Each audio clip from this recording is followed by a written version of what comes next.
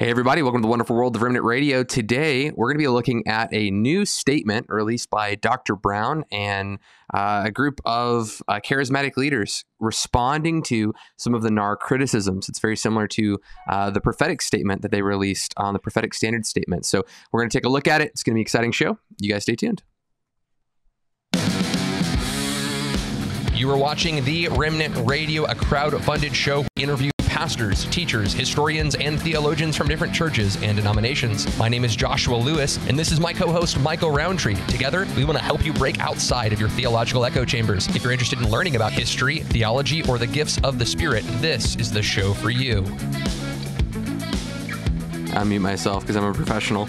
Anyway, we got an exciting uh, program for you guys today. Uh, we're going to be talking about this new statement on apostolic and prophetic leaders and, and kind of how that shakes out and what our thoughts are on that. It's going to be an exciting program. Before we dive into it, I want to remind you Remnant Radio is crowdfunded. You want to support the channel? You want us to help it and create charismatic content, help you thinking through these issues that are coming up in our culture, uh, maybe think about supporting the channel. There's a couple ways you can do that. You can give a one-time gift on PayPal or a reoccurring gift on Patreon. As those five bucks a month, you get access to extra content if you choose to give on Patreon. Uh, also, we have a healing and deliverance conference March 2nd through the 4th. Uh, that's Remnant 2023. You need to check it out. Myself, Michael Rowntree, Dawson Gerald, Michael Miller, the Remnant crew are going to be down in North Carolina doing a healing and deliverance conference. If you want to know things about deliverance, casting out devils, uh, healing the sick, this is the conference to be at. Go check it out. Link in the description. I just really encourage you guys make sure to like, subscribe, share the content uh, because we want to help charismatics think deeply uh, and grow in their knowledge uh, of God's word and the power of God's spirit. Uh, so this would be the place to do that. Without further ado, I want to introduce you to the fellas. Uh, the fella in the middle there is Michael Miller, and on the far right there's Michael Rowntree. Since Michael is going to kind of be driving the show today, Rowntree is going to be driving the show today. I might toss it over to Michael Miller first for introductions. How are you doing there in Oklahoma? Oklahoma, Denver. That's how you used to have to say wish tossing this, to dude. Roundtree first. You wish, bro. I don't believe I've Oklahoma left is the so basement much in better 10 than years. Colorado. Yeah, right. uh, You have like I'm good, no man. oxygen in those I'm- I'm- mountains. Oh yeah, I'm crazy busy this week. So I've been solo with the kids since Thursday. Uh, Michael flew in with his son on. It was also Thursday, right? mm-hmm. Yeah. Yeah. Sorry, and I I- preached on Sunday. So we went and hiked, we went and hiked a mountain. Uh, Michael's son killed it, by the way. Totally just scaled a thirteen thousand foot peak with no problem at all. Didn't. How breathe does one kill a mountain? That's intense. That's how. That's how strong he He's is. cold blooded, bro. Uh, yeah, he's he's a he's a crazy hiker. And then um yeah, we've already filmed one podcast today and here's another one and yeah, gosh, it's There it busy. goes. So Yeah. Well, I as interesting. I kept I was getting like people tweeting at me, texting me, emailing me about this statement on the New Apostolic Reformation. Of course, we're we're always talking about the New Apostolic Reformation because it's uh, the the label is used to sort of characterize all who are maybe hyper charismatic. And uh, we've done lots of episodes on this but some people use the label in such a way that essentially all charismatics fall into this new apostolic reformation. It's a term that was coined by peter wagner a former seminary professor at fuller theological seminary. And uh, and uh, according to uh, Holly and Doug, who've both been on the show, wrote probably the uh, hallmark book on this subject. I think it's just called the New Apostolic Reformation. I can't remember what it's called off, off the top of my head, but we've all read it and, and done shows on it and interviewed him multiple times. But uh, we all found the book to be uh, pretty insightful, which is maybe strange for charismatics because usually charismatics get a little defensive over the book. Uh, we found the book to be uh, pretty insightful. We had some disagreements as well, and we detailed those before. Um, but uh, as it turns out, there has been a, a response on the part of some uh, some leaders, specifically Dr. Michael Brown, uh, who kind of rose to prominence during the Brownsville revival and afterward, and uh, has a, a radio show and podcast, that kind of thing. Uh, and then Joseph Mattera, uh, pastor in Brooklyn. And so, as this new apostolic reformation chatter has, it's it seems to be like building and building and snowballing and snowballing and uh, and now as we're entering into the 2024 election kind of uh, the the this is this is just I want to read you a statement from Joseph Mattera, um, one of the signers of this statement, to explain why they put this statement together. He says, "I've been getting very concerned that as 2024 looms."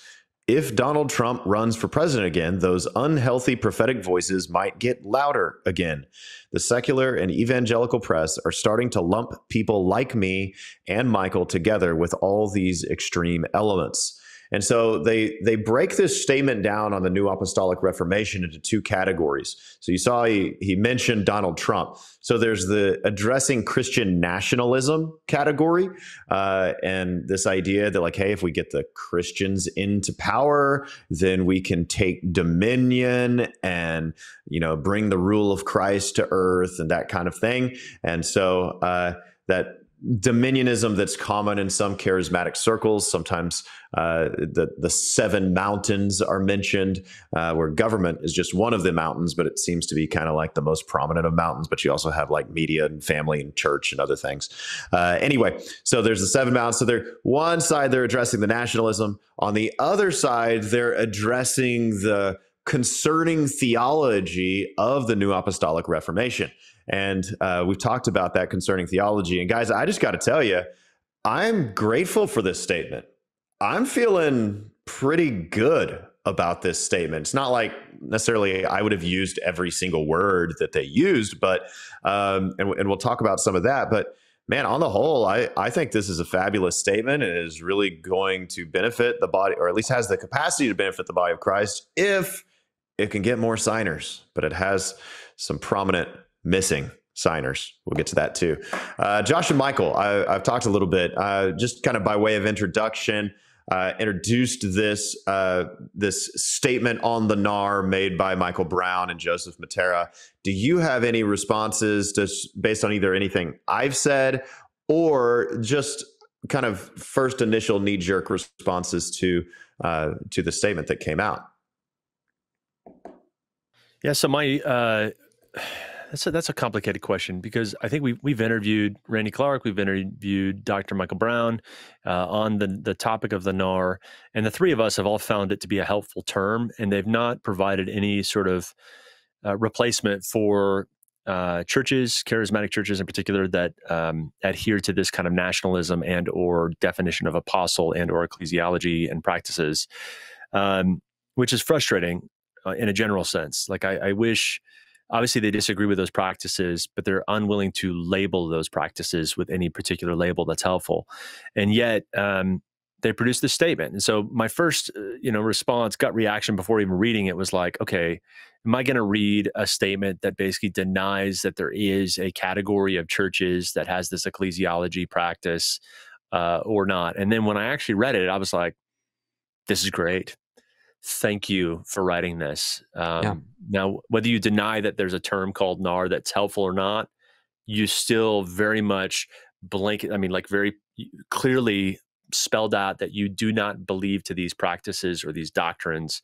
And and honestly, leading the charge in that is going to set the example. It's going to keep, it's going to take those people who do have those beliefs and practices and put them in a category just by their failure to sign. That's right. Uh, the statement, which I'm I'm thankful for.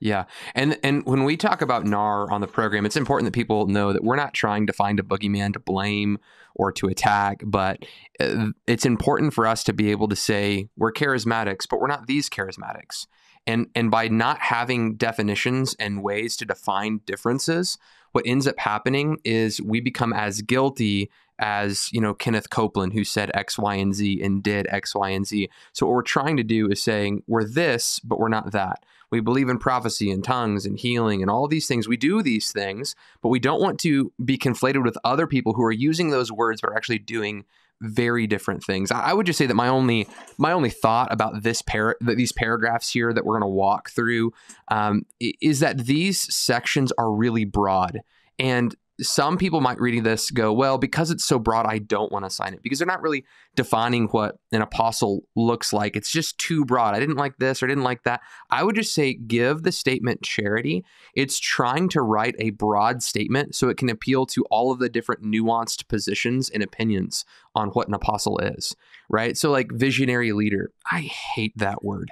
Okay, but but they're just saying, hey, maybe you're looking at an apostle as a visionary leader, and it's like, well, they're trying to include those people and their understanding of apostolic leadership into this statement. So for that, I say, even though there might be a language in here I don't love, it's like they're trying to be ecumenical. And for that, I think that it's a it's a very well written statement. I like it more than the prophetic standard statement that we read uh, last year when that came out. So yeah, I, but you I still like generally like the prophetic standard statement. I very much generally like the the, the, the the the prophetic standard statement. I wholeheartedly partially loved it. So we we we did a response to it and said, "Hey, I don't like the way this paragraph and that paragraph is written because it does sound like um real true prophecy can have errors in it. Like it was just not it it's, Yeah, the meaning I- of it was It good, was- but the language I think could have been written better. Yeah.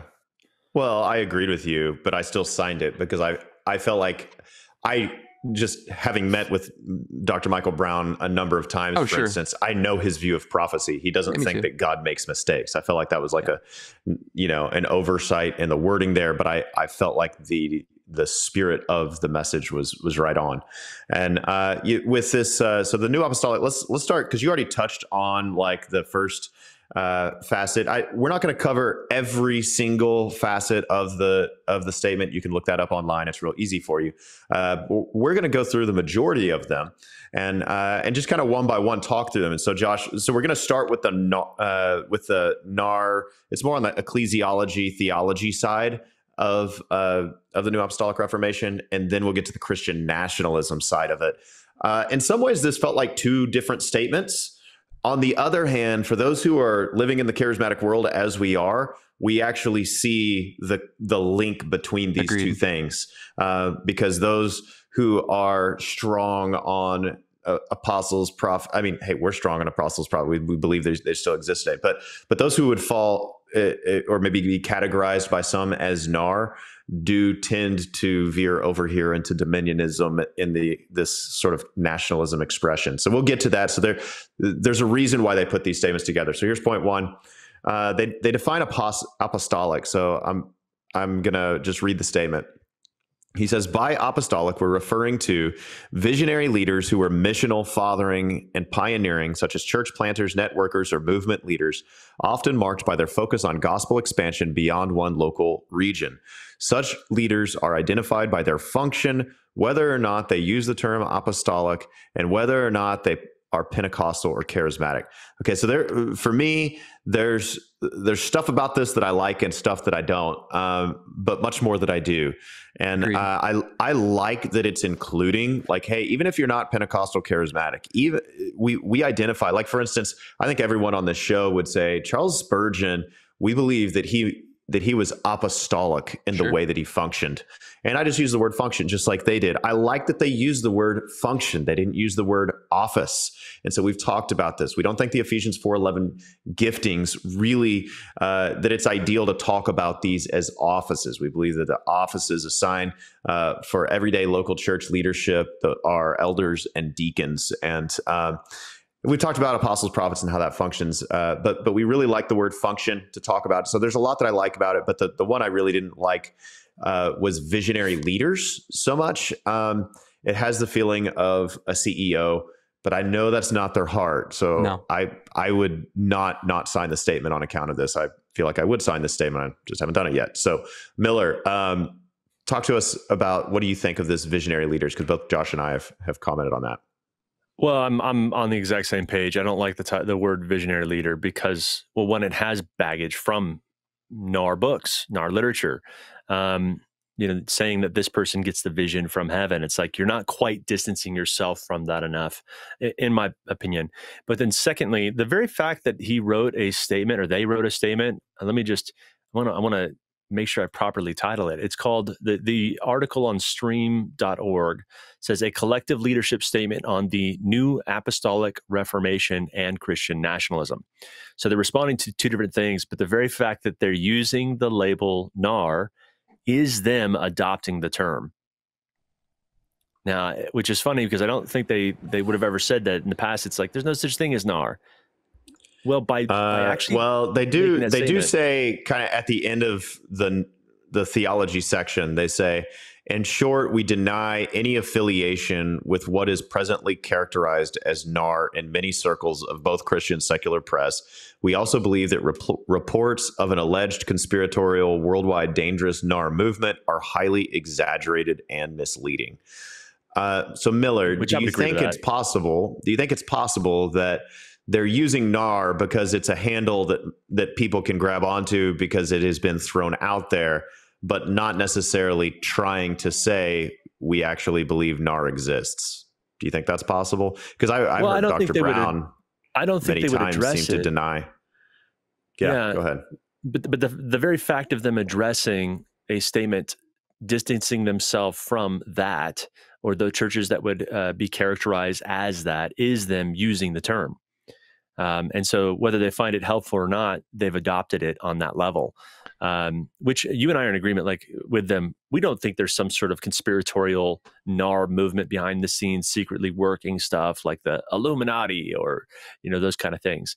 Um, but but the fact that they're using this statement again, it, it emphasizes that this is the term that's that's done. It's the term is there. Right. There's no running from right. it now. But and I, so I'm going to volley this over to Josh. When they use the language of highly exaggerated and misleading, do you agree with that, Josh? Because on some level, we found uh, we found some of the criticisms toward NAR and the categorizations is helpful. I, have heard you talk about that before, Josh, as we all have. So, uh, I mean, would you agree with this, this that it's exaggerated and misleading, or would you disagree? depends on who we're talking about, right? Like, is it, did Doug and Holly grossly exaggerate? No, I, I, disagree with some of their categories, but there are people out there who do grossly rep- misrepresent everything's NAR. This is NAR, that's NAR, um, and that is a gross misrepresentation. But if we're going to take the the very accurate, the very I think very accurate, charismatic side that we're saying, hey, we're not this. It's a group of people who have a an ecclesiological structure that gives them some kind of supernatural power. The people at the top of the structure, mainly apostles and prophets, are able to divine certain spiritual powers and and, and, and not just powers, but um, revelatory insights methodologies? engage new doctrines mm-hmm. new practices on how to to practice in the local church. And and that is a very real thing. I don't think a single person who's ever signed this statement or wrote this statement will deny that that person i just described exists. And to call that group fringe um, i think is a gross misrepresentation that group is they have a publishing house. They have multiple publishing houses, and and almost every book that comes out of those publishing houses scream NAR all over them. So all that to say that no, it's not just a few people. It is becoming mainstream. All of the Trump prophets. I mean, it was hitting national news. This isn't a fringe movement. You go on YouTube, hundreds of thousands of views every video from these clowns. And I, I don't want to be. I, have I have now violated scripture in in degrading, you know, Christian speakers and stuff like that. I don't want to degrade people, and and I apologize for that. But these these guys are, are making a mockery of the faith, and it's it's it's gone too far. So I'll say no. I don't I I don't think. Uh, I don't think that they're wrong in the way that they're saying that some people are exaggerating it, but I do think if you're saying that these charismatics who are inventing new doctrines and new practices that that is somehow not happening very popularly, I think you're dead wrong. Um, yeah, it's definitely I, I think it just it level. just depends. I think it just depends on what he means when he says, yeah. um, you know, we de- we deny any affiliation with NAR. Okay, that's that's really one side of the statement. And then he says that that reports of an alleged conspiratorial worldwide dangerous NAR movement are exaggerated, misleading.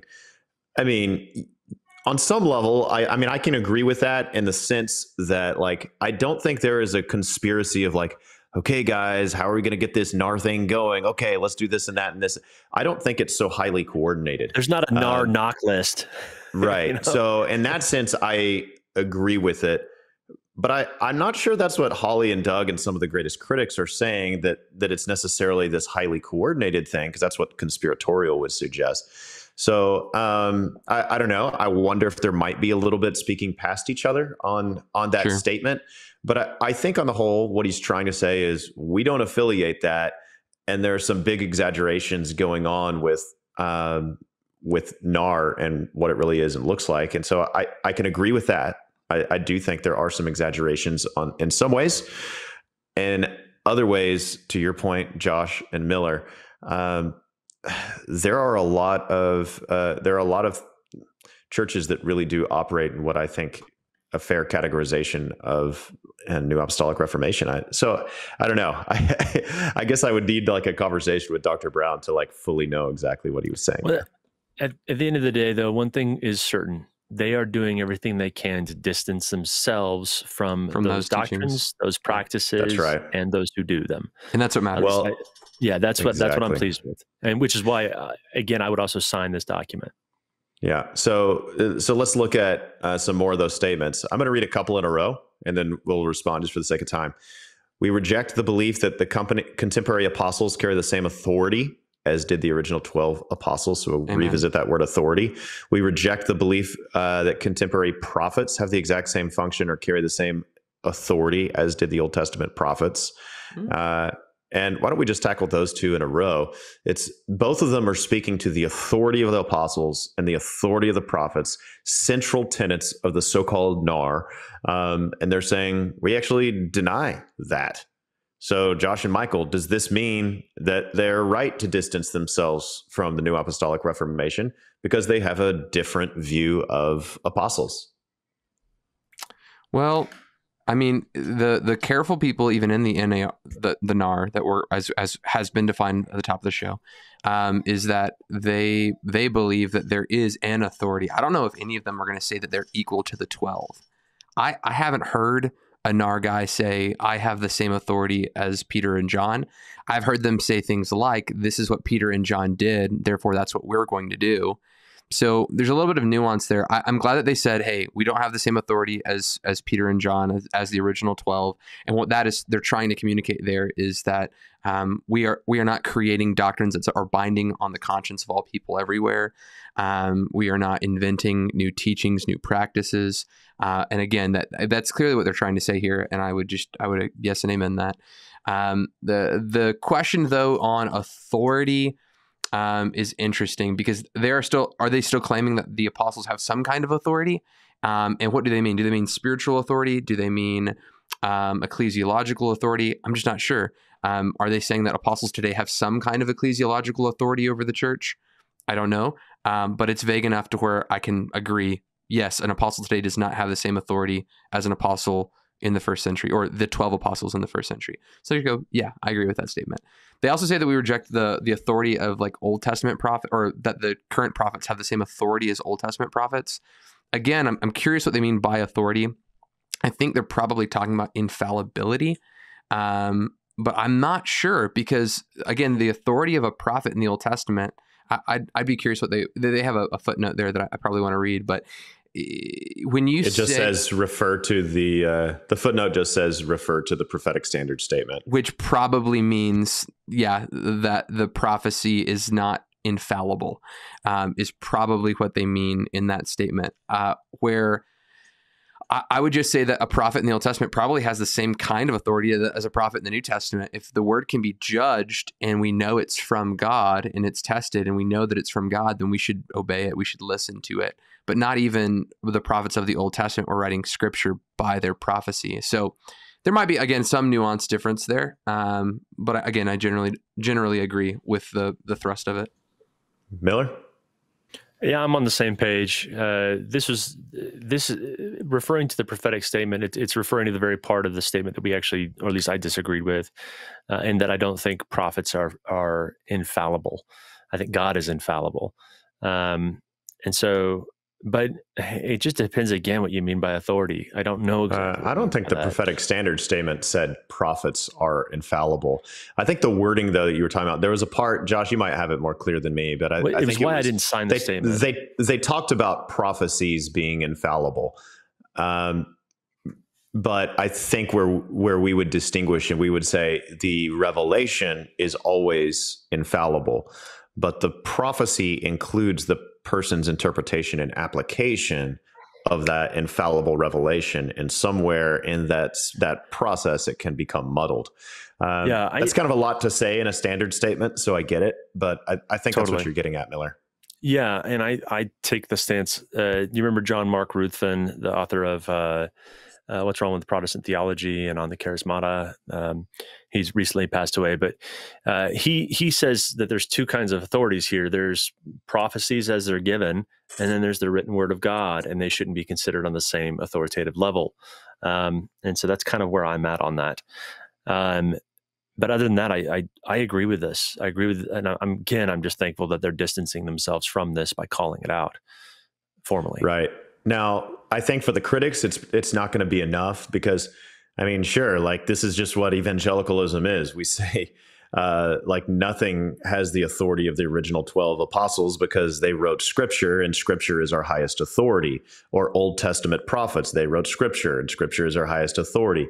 So i mean praise god they're basically saying that the scripture is the ultimate authority and it trumps anything any so-called prophet of today says. So i mean yes we're going to all easily sign off on that but i think the critics are going to want more they're going to want them to say that there is no authority at all for any sort of modern day apostle. An apostle is just kind of a missionary that goes out and and plants some churches, but they don't have any sort of authority. And it uh, and I think that you find some nuance within the New Apostolic Reformation where it's like, okay, well, we don't have the uh, we don't have the authority of the apostles, but there is a hierarchical authority with apostles. And I'm the apostle over this network, and you're the apostle over that network, and that kind of thing. And so I think the critics are are not going to be satisfied with that. Nevertheless, uh, to your point, Josh, I think they're trying to include as many people as possible on the grounds of orthodoxy, which right. says script, scripture's trumping all things and how we parse like the authority of modern day apostles and that kind of thing they're saying we can leave that in the realm of debate. Let's just make sure that we have scripture at the tippy top. Rowntree i think that this next statement that i have highlighted here in the document probably shows us what they mean by authority where he says we reject the belief that every church must be submitted to apostles and prophets to be in right order before the Lord. That statement right there probably shows us what they mean by authority. If the apostles today don't have the same kind of authority as the 12, and then says that we in our local churches don't have to be submitted, he is then claiming that apostles don't have authority over pastors and teachers and congregations. So I think that statement is probably clarifying of the things that we read earlier. And it's probably talking about, again, doctrine in creating new things because he's not talking ecclesiology, obviously, uh, by, by that statement there. I, would be curious if you had yeah. any back to that. No, I, I, I think that's good. I and I love that statement. It's my favorite statement. We've, we've been troubled by this idea that like you know, hey, you got a little local church over here, they're put put along doing their thing. And then, uh, like, oh, well, if you submit to this apostolic leader and the visionary download that he's received from heaven, then the blessings of heaven can trickle down to you. And uh, and so everybody's got to be submitted to this little church. And, and so uh, Brown and Mattera, they're saying, no, no, that's that's not a biblical concept. And so, uh, man, praise praise God for that. I, I think that's a good observation, Josh. Uh, let, let me read this next one. See, Miller, I want to hear your thoughts on it, okay? Uh, it says, We further oppose the possible abuse of ecclesiastical, uh, ecclesiastical titles or ecclesial titles that manifest itself in self proclaimed apostles and prophets claiming territorial authority over pastors in a community, city, or nation. Okay. Uh, Miller, thoughts? Uh, so this is a reference to the idea that so and so is the apostle of that particular city, and if you're going to be doing work in that city, you need to come under their apostolic oversight. I think it also has to do with the idea of apostles having the authority to take down demonic strongholds, you know, principalities. Um, and so again, I'm I'm in complete agreement with that one, and I don't I mean, if if I'm understanding those that statement correctly, I'm in complete agreement, um, and I don't really have much else to say. I'm just again thankful these guys have taken a formal stance, and also acknowledging that there are people out there that do this. Oh yeah, Yeah. There, there's a girl in our uh, our our spirit word and spirit course. Her name is Barbie. Her and her husband uh, were just starting prayer meetings in their local community, and a self-proclaimed apostle came to them and says, "No one does any ministry in this city without my permission first. I'm the apostle What in of the this region," world? and shut Yeah, down. that happens. That's not- It's not. That's not the only time I've heard that. it's not the only time I've. I mean, it's wild. That is I mean, it's sick. Like, it's here's one from. Jack. Jack got a letter in the mail, and the letter said, uh, "Dear Doctor Deere, you may not view yourself as apostle as an apostle, but we do. And if you would like to join our apostolic network, you can pay such and such amount of dollars, No. and you can be part of the network." And Jack is like, "Oh my gosh!" So I, I think this. Can I ask thi- if I know who it was? Can I ask a name? Would you say yes No, or Oh, no? it would have been great if Jack responded with like, "Well, Actually- I took a loan from heaven, and uh, I got it from the Lord in heaven, Oh but it's only spiritual. So I'm gonna have to give you that in, in future times." uh, you know, actually, here's why I say no because I'm not hundred percent sure. I'm only like eighty percent sure who Okay. it was. He told me one time in off conversation, so I don't want to catch. I'm pretty on sure I know the network, so I'm gonna ask Jack next time I see him. Okay. Well, Yeah. and, and John Davidson, our, our buddy in uh, Cleveland, said he saw the same thing happen, oh yeah. where people were told they need to submit to the apostle in the city if they really want to uh, come under the benefits of heaven there in that city. which is foolish. Who, totally who, foolish. who who who knows if that pastor of that church is the apostle or the pastor down the road is the apostle or you know like at what point like you just, you're just arbitrarily determining based off of maybe influence. It's certainly not off of apostolic succession it's definitely not off of denominational you know organizational structures because you don't all fit under that organization. So they're just arbitrarily saying i'm an apostle and having a group of people who buy into it. And that's that's all that it makes you an apostle like it's it's it's foolishness um yeah, Absolutely. Okay, so uh, so so far we're loving this. Okay, here's the next one. We reject the belief that new revelation is essential for the life and growth of the church, or the contemporary apostles or prophets are the only ones privy to such new revelation. This has been a huge one that we've we've been hitting on. This idea of like new revelation that only apostles and prophets can get. So oh, there's these lowly pastors and teachers here who happen to be entrusted with leading the church, the elders of the church. First Timothy 5:17 are to direct the affairs of the church. Okay, but but then we have this new ecclesiological authority like okay, so these apostles and prophets that paid $159 to be part of a network so that they can tell you that they got a download from heaven and that because of this download your church needs to do this not that and so now the elders are just kowtowing to the apostles so that the blessings of heaven can flow down and so uh, so all of that's terrible and it's abusive but it's especially terrible when when we're talking about new revelation that goes beyond the bounds of scripture um, that uh, to the point of being unscriptural. Uh, things like you know spiritual mapping and, and in order for us to reach this city, we have to have an apostle who can take down principalities uh, through the power of his prayers, as though apostles' prayers are more important or more heard than other people's prayers. And, uh, and so we're going to cast down this principality. So all of this is built as a new revelation, this strategic spiritual warfare, this spiritual mapping. And I look at it and I say, uh, it's actually unbiblical when you look at Luke chapter 10 and Jesus sends the apostles out and, and they're casting out demons and healing the sick and raising the dead. And, uh, and Jesus says to them, I think it's Luke 10 17, I saw Satan fall like lightning. And there's a little bit of debate over that, what that verse means, but I don't think that he's talking about a primordial fall of Satan because it has direct bearing on that context in which he's addressing.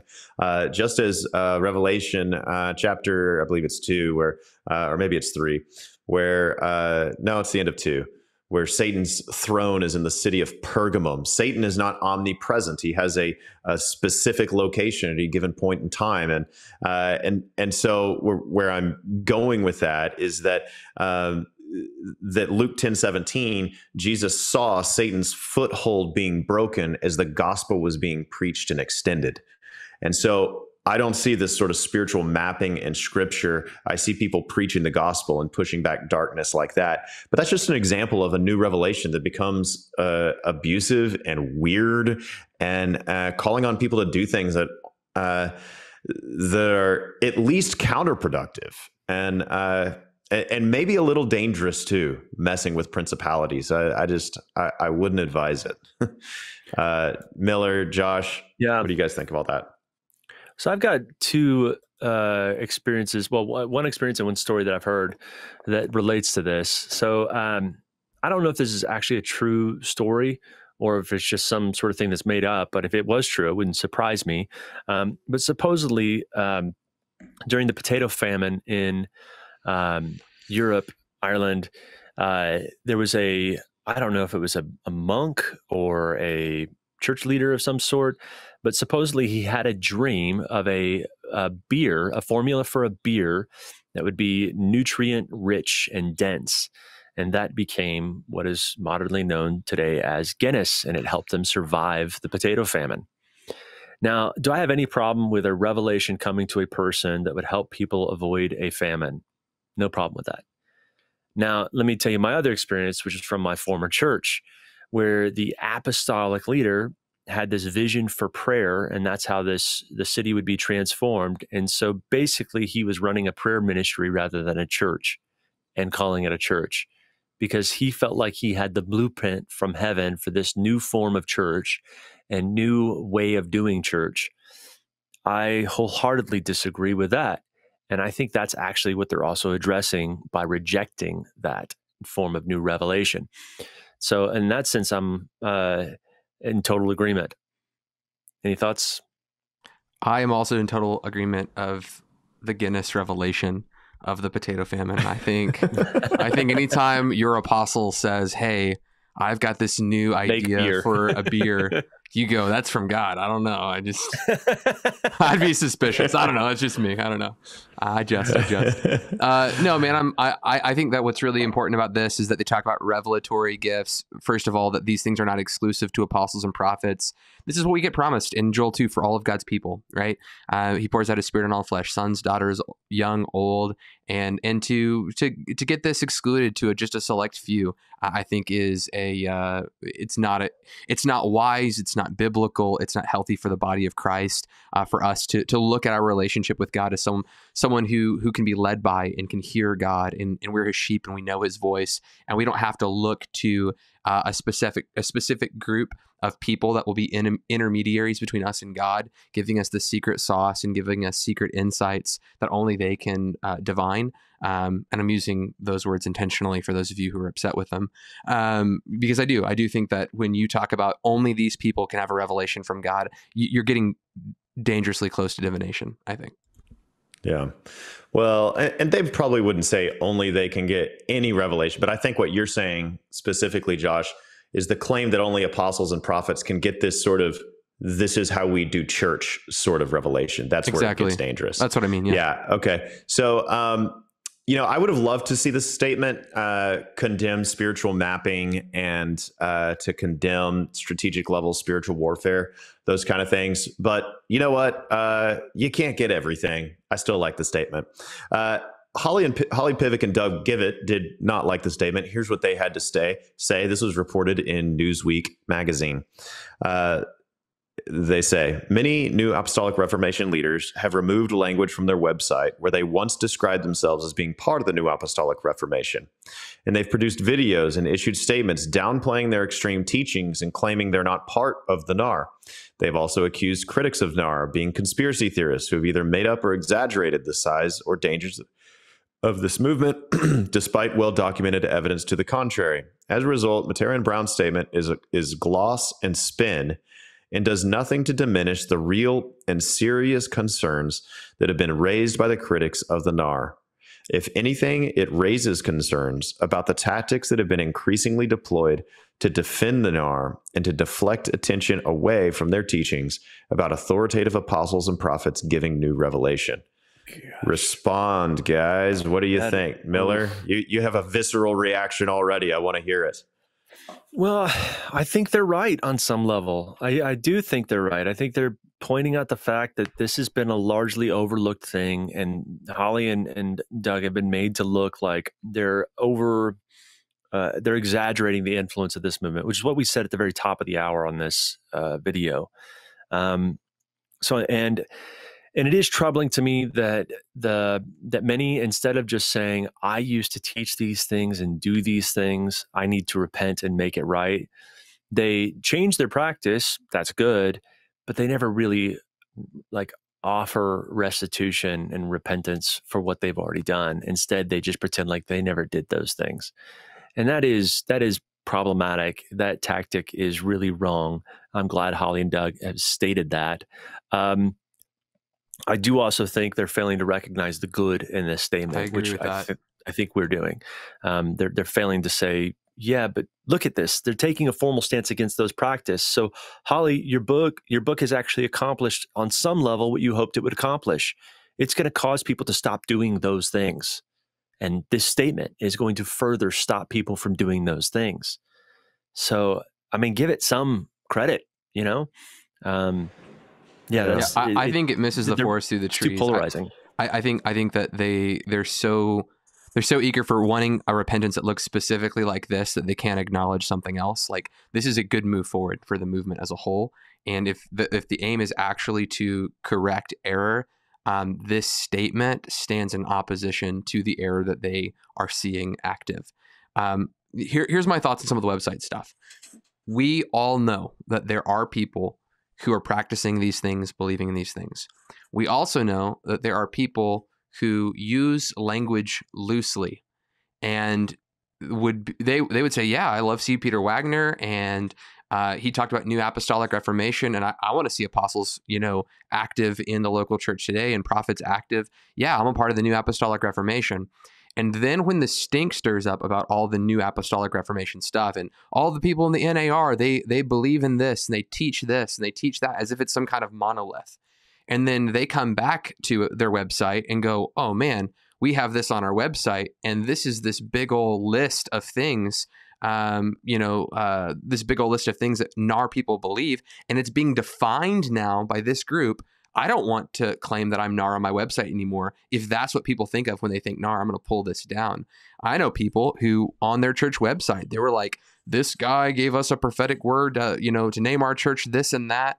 And that prophetic guy went wheels off. And they're like, I still like the prophetic word, but I want people associating us with that guy. So they pulled the endorsement. They didn't need like a public, you know, repentant statement to, you know, once upon a time I put Paul Cain's name on my website. You know, I need a you know some kind of public repentance video. It's just it's just silliness. It wasn't sinful what they did. It was just the the name or the meaning of the thing changed in their eyes, so they pulled this stuff. And I'm not saying that's the case with all of them. I just I think it's disingenuous to assume that because someone pulled something from their website, it's because they're hiding or because you know they see the validity of it and they don't want to be associated. I don't know. Like th- there can be a thousand reasons that someone does something like that.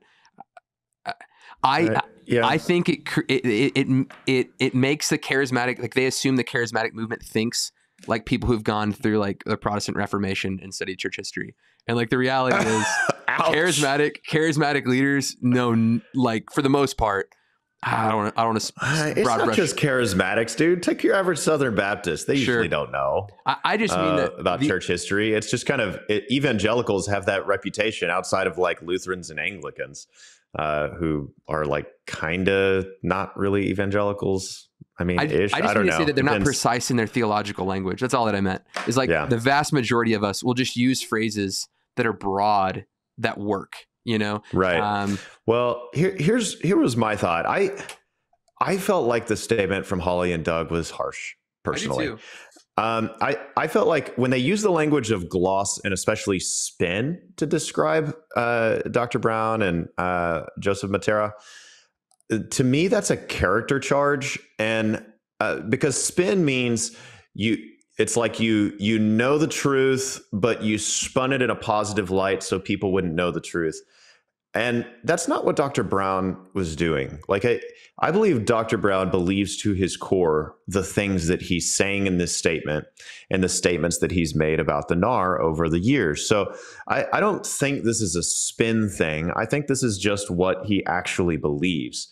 And um, they now, to be fair, they might have intended spin not as a character assassination. They might have intended it as just kind of like it, he's not really understanding the depths of this. Just to give him the benefit of the doubt, but normally that's what the word spin means. It's it's a uh, a negative word, and it's it would it raises questions about their character, and I don't think that's appropriate. Uh, the other thing is when they say that it deflects attention away from their teachings about authoritative apostles and prophets giving new revelation.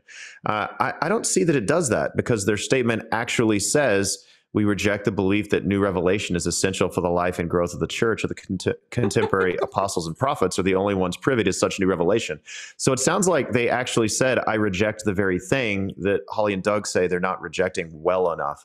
So um, if this is how they feel, I, and maybe they have somewhere else and I haven't seen it, but I would say, well, give us some clarification because it sounds to me like they did that. Now, it could be um, that they're saying, Josh, I don't know what's so funny over there, but uh, it could well, be that hilarious. Saying, it's like they're not rejecting it, and then you read the sentence that verbatim says, "We reject this." It's just okay. It's just funny to me. It's like at what point, like, what hoop do you have to jump through to be like, "I have repented of this," or and yeah, I'm not even saying that they so, did this, but like, they, so it, I don't. It feels to me like a little bit less than the charity than it, less than the charity that I would want to see. Yeah. For believing someone is a Christian brother or sister.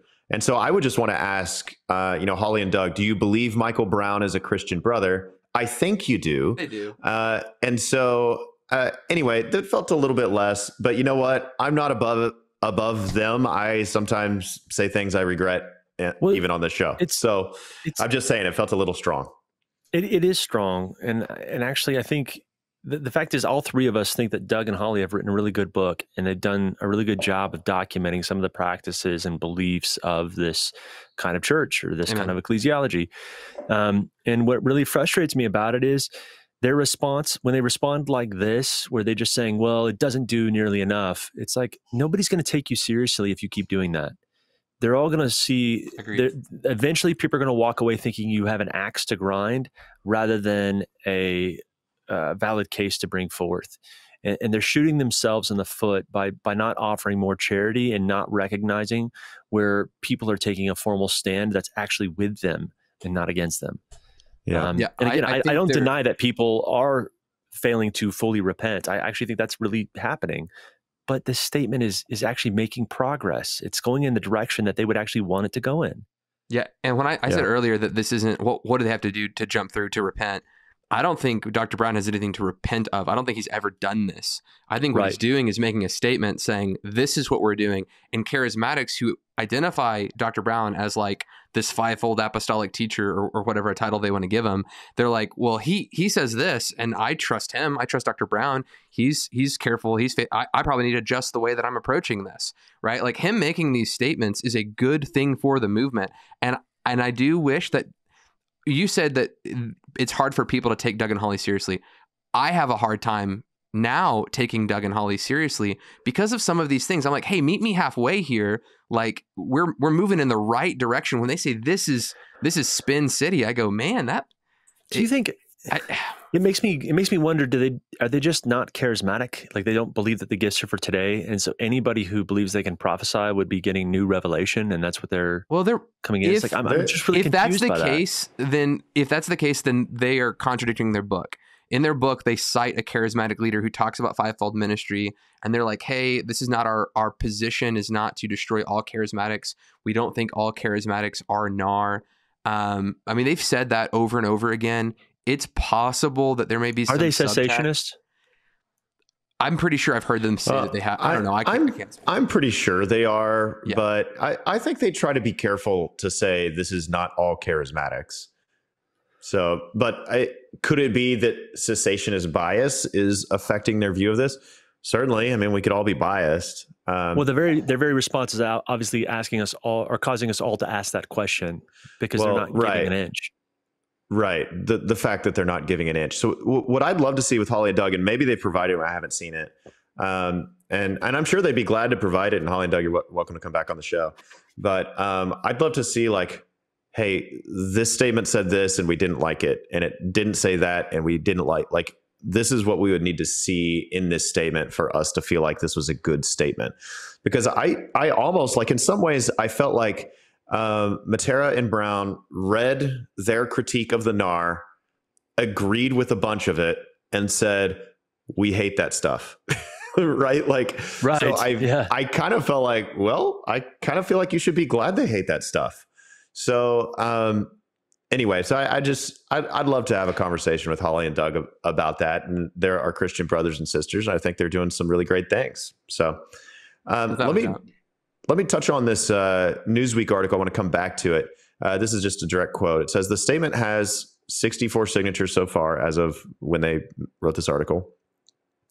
Although none from the bigger names in the uh, apostolic prophetic movement, such as Cindy Jacobs, head of prayer uh, of the Prayer Network Generals International, California pastor and revivalist Ché Ahn, uh, and Texas evangelist Lance Wallnau and Dutch Sheets. Therein lies the difficulty these leaders face. What some believe are the more extreme elements have larger numbers of adherents. Ahn has 52,000 followers on Facebook, 25,000 on Twitter, and a network spanning 25,000 affiliates in 65 countries. Sheets has 188,000 Facebook followers and 48,000 Twitter followers. And it goes on with, uh, you know, Tennessee evangelist Johnny Enlow, known for his pro-Trump rhetoric, has 97,000 followers on Facebook. Wallnau 929,000. Anyway, lists all of their, uh, like basically the people with the big following that you'd really want to have signed this statement are not signing it. Now, I will say Heidi Baker has signed the statement. Uh, that was the prominent name that I saw, and there might be more, but um, pretty gnarly. Yeah. What do you?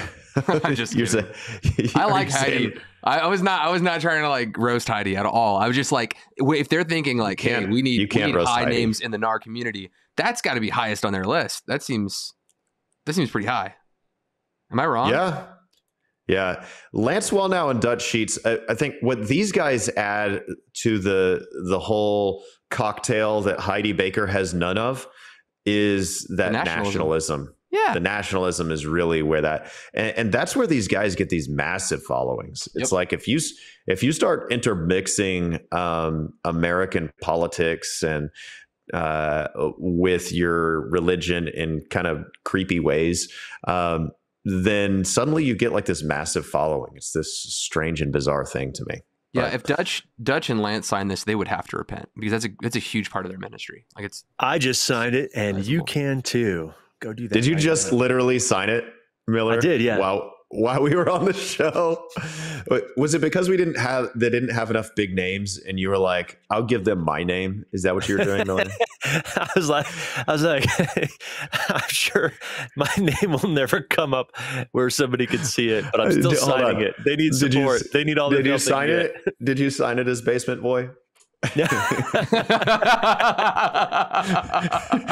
Bro, that would be hilarious. I would love to see that like posted online. Like Joseph Patera, Michael basement Brown, boy, Heidi Baker, Basement Boy. uh, Michael, oh, let's, I, I want to respond to that last statement on the those who have failed to sign it.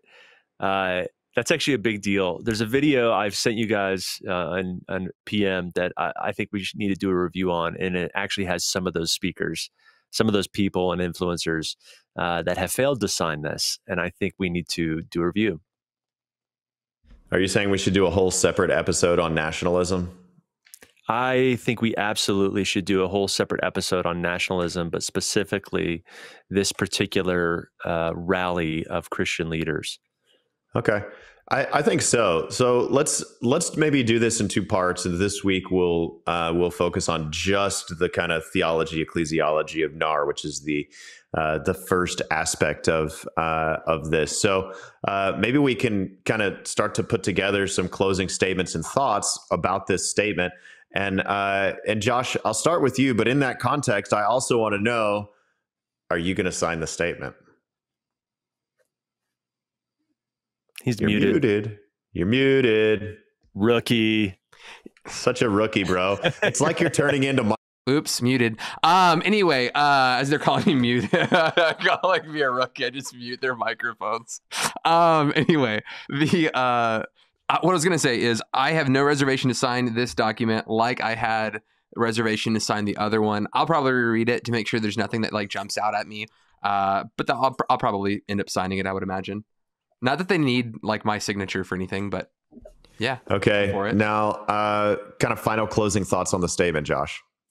Yeah, uh, the statement is good. uh, the statement is moving in the right direction. Uh, charismatic leaders like Dr. Brown have a lot of say in how organizations functions with doctrine and teaching and practice because they're, they're viewed as ecumenical leaders who who love the charismatic movement.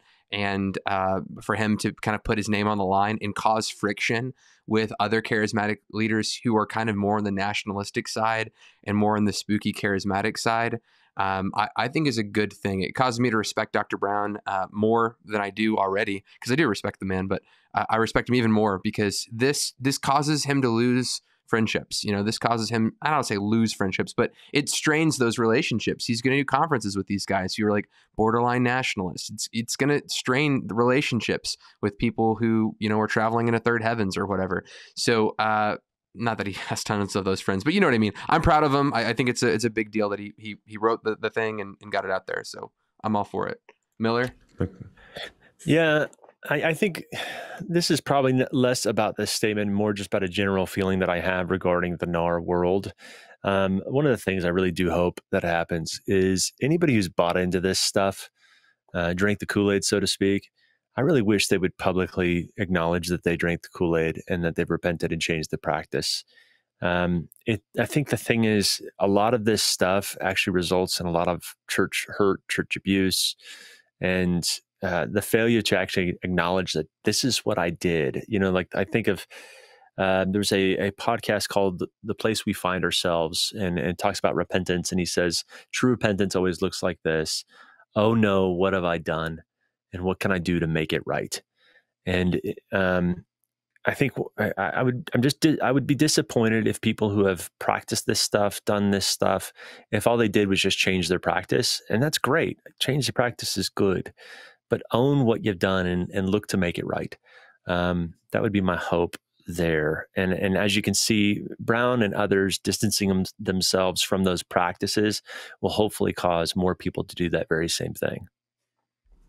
Okay, um, I like that, Miller. And here's how I think I would I would finish. I want to read a section from Ephesians four. Uh, so this is actually the part that comes before the, the infamous Ephesians 4:11 about apostles, prophets, evangelists, pastors, and teachers. So there we have the Spirit gifting the body of Christ diversely. But before we come to the diversity of the body, we have the unity of the body. And the diversity of body is actually supposed to lend toward the unity of the body. We're supposed to uh, to operate in these gifts until we all re- attain unity in the faith and the knowledge of the Son of God. So the gifts work toward unity, but they also spring from unity. So let me read. I therefore, Paul says in Ephesians 4 1, a prisoner for the Lord, urge you to walk in a manner worthy of the calling to which you have been called, with all humility and gentleness, with patience, bearing with one another and love, eager to maintain the unity of the Spirit Spirit in the body of peace. There's one body, one Spirit, just as you were called, one hope uh, that belongs to your call, one Lord, one faith, one baptism, one God and Father of all, who is over all and in all and through all. But in us, but grace was given to each of us according to the measure of Christ's gifts. So, um, so before he gets to the grace that was given to each person in different ways for these different giftings, he starts in this place of unity and maintain the unity of the Spirit and, and uh, and, and so I, I, think what I would say is I want to appeal to, people on both sides and and I say like listen you're all our brothers you, you're brothers and sisters Holly and Doug you're my brother and sister in Jesus and I love you and uh, and Joseph and Michael Brown uh, you're my brothers in Christ too and and so I just want us to talk in those ways so we can actually learn from each other and I look at this statement and I say I think Michael Brown and Joseph Mattera received this criticism well. I look at it and say, uh, like they're they're looking at it and say, okay, you know, there there's actually some merit to these criticisms, and so they they received that well. I think that's a good thing, and uh, and I say, let's all do that. Let's learn from each other. Let's be gentle and kind with one another. And a wise person loves correction. Let's uh, let's receive kind of sometimes the hard words, but let's also give each other the benefit of the doubt. And if if we read something, it's like, ah, I wish they said it this way, I said that. Like, let's just try to give people each other the, the benefit of the doubt. Uh, I think Holly and Doug have spotlighted a really key issue in the charismatic church that's a huge, huge, huge problem. And I also think that Joseph and Michael have responded uh, pretty well with this statement. I think very well with this statement. So I'd like to see all of us come together in the real spirit of Ephesians 4, which is aiming for unity. So, um, so we'll we'll kind of finish on that note, uh, guys. Thank you so much Oh, for wait, joining Michael, us. one second. You- Yes. You mentioned about we're gathering together and like unifying. If you want to gather together and unify, you should Oh. really come to the Remnant 2023 conference and healing and deliverance. It'll be full of new revelations. Yeah, they're they're uh, oh, guaranteed. yeah, thanks, Miller. Guaranteed, the Apostle Michael Rowntree, who's Oh, built geez. Bridgeway on Oh, on the foundations of apostles and prophets from from Bethel. Um, it will be a powerful, powerful time of impartation. no, seriously, guys, we love we love healing, we love deliverance, and there's a lot of spooky stuff out there. If you've never been trained and or experienced this stuff, this would be a great conference for you to come to. Kind of learn about the doctrine of healing, learn about deliverance, and how it actually fleshes out. We're going to have uh, live Q and A's uh, for pastors or people who are attending the conference uh, who, who are going to be available during the day on Friday. So it's going to be like a uh, uh, no, it's yeah, it's yeah Thursday evening, Friday uh, morning and evening. There's a Q and A session that morning, and then Saturday uh, all day. So uh, it's going to be a great uh, uh, conference. I might have gotten my dates a little bit wrong, but there is a link in this description, so you can check out the link in the description. Uh, register for the conference. I think we're already halfway full on conference registration, so uh, we only had 200 people. Are we really? available. You really need to go. We're pretty far out for that, yeah. Snatch that up as soon as you can. So uh, hop on there, get your registration, get your spot taken care of. Uh, it's going to be a, a pretty spectacular conference. Rowntree, let me let me toss it back over to you because I interrupted you. And Oh, uh, it's all good. I was you, just going to you close, the show. I I All defer. right, guys. Okay, guys. Well, thank you so much for joining us here on Remnant Radio. Hit that subscribe button, hit that like button, helps us out. And uh, and uh, if you would consider, if you've benefited from this content, you can make a donation uh, by clicking on the link in the description uh, to PayPal for a one-time donation, or if you'd like to make a recurring donation for as little as five dollars a month, uh, then you can join our Patreon Patreon club. So uh, that's probably not what it's officially called, but it's kind of like that. So uh, anyway, guys, thank you so much again for joining us. We will see you next week.